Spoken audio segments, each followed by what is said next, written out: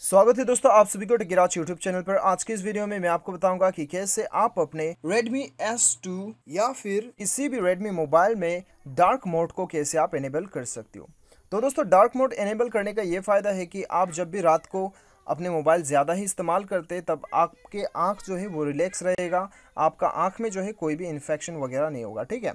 तो दोस्तों, चलिए सबसे पहले तो चले जाते हैं अपने मोबाइल के सेटिंग्स पे। सेटिंग्स पे जाने के बाद में दोस्तों, यहाँ पे जो है, मैं आपको दो सेटिंग्स बताऊँगा। एक डिस्प्ले सेटिंग्स में जाना है और यहाँ पे दोस्तों, आपको दिया गया है रीडिंग मोड अभी दोस्तों, देखिए, जैसे मैं रीडिंग मोड को ऑफ़ कर देता हूँ, आप देख सकते हैं कि मोबाइल का ब्राइटनेस ऑटोमेटिकली बढ़ गया है और साथ ही साथ ये वाइट कलर में आ चुका है। तो दोस्तों, यहाँ पे दोस्तों, आपको यहाँ पे डार्क मोड तो नहीं है ये, लेकिन आप रीडिंग मोड को ऑन करते हो तो क्या होता है कि आपका आँख का जितना भी मतलब आपका आँखों के जो है वो रिलैक्स रखता है, ठीक है? तो ये एक बहुत ही बढ़िया फीचर है जो कि Redmi Note 5 Pro में आता है और ज़्यादातर Redmi फ़ोन में में आता ही है, ठीक है? तो इसे एनेबल करके जो है आप अपना आँख को जो है बचा सकती हो, ठीक है? नाइट मोड को या फिर डार्क मोड को इस्तेमाल नहीं करके भी आप इसे इस्तेमाल कर सकते हैं।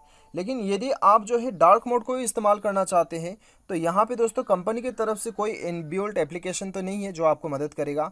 लेकिन दोस्तों यहाँ पे यदि आप प्ले स्टोर पर चले जाते हैं तो यहाँ से आपको बहुत सारा डार्क मोड एनेबल करने का यहाँ पर आपको एप्लीकेशन मिल जाता है, ठीक है?